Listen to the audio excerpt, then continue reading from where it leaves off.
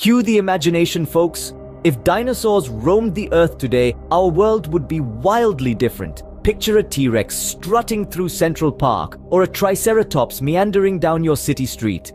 It's a thrilling, if somewhat terrifying thought. But it's not just about the spectacle. These ancient giants would dramatically impact our ecosystems. Food chains would warp, biodiversity could shift, and our modern habitats would need to adapt to accommodate these prehistoric powerhouses.